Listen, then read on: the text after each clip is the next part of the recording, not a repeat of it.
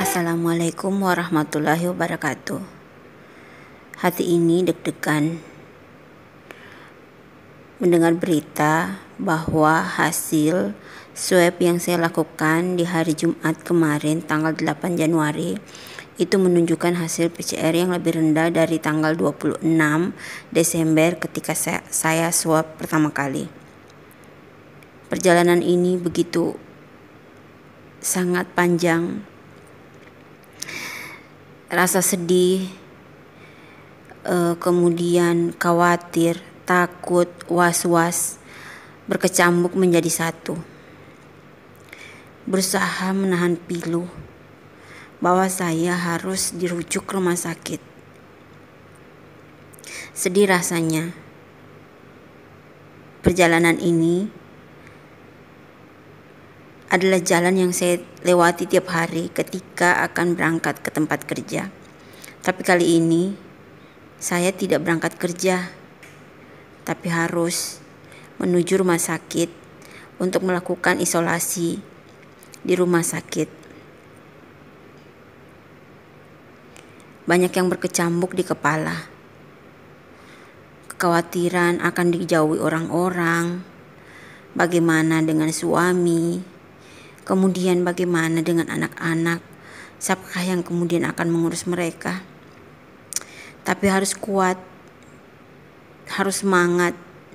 Jangan sampai imun turun dan bisa mengakibatkan gejala-gejala COVID bersemayam di tubuh kita. Saya kemudian memandang jauh dari tempat kerja. Itu sana tempat kerja saya. Tempat yang tiap hari saya datangi. Terlewati begitu saja. Karena itu bukan tujuan saya. Tujuan saya kali ini adalah ke rumah sakit. Ingin menangis, tetapi rasanya sudah habis air mata itu. Ingin berteriak,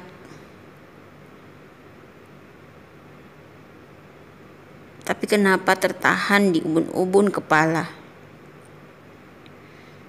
Satu yang pasti, perjalanan panjang ini akan membawa suatu kisah baru untuk saya. Suatu pengalaman yang akan sangat berharga di kehidupan saya kelak nanti. Saya sengaja merekam perjalanan ini untuk menjadi pengingat bahwa ada suatu masa tanggal 9 Januari 2021 sekitar jam 9 pagi saya berjalan diantar oleh suami menuju ke rumah sakit untuk melakukan isolasi. Saya tidak tahu apa yang akan saya hadapi di depan sana. Saya tetap semangat dan saya yakin saya pasti akan sembuh dan saya akan berusaha apa pun yang terjadi, saya akan berusaha untuk sembuh. Tidak lama lagi, rumah sakit akan tiba. Di depan sana, rumah sakit. Hati saya semakin deg-degan. Kuatir, jantung saya berpacu sangat cepat.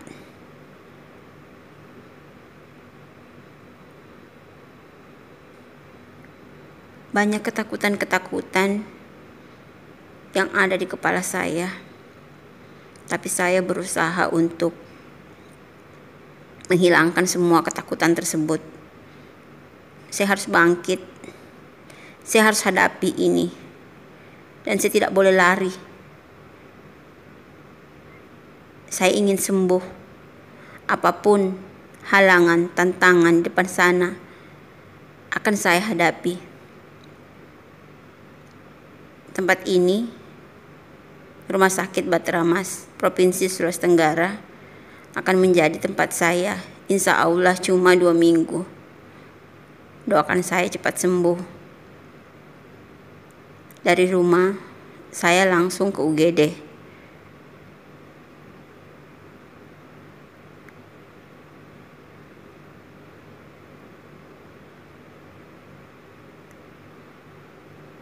Saya berharap saya menjadi manusia yang baru di sini. Tiba di UGD, hati saya semakin dak-dikduk. Mohon doanya.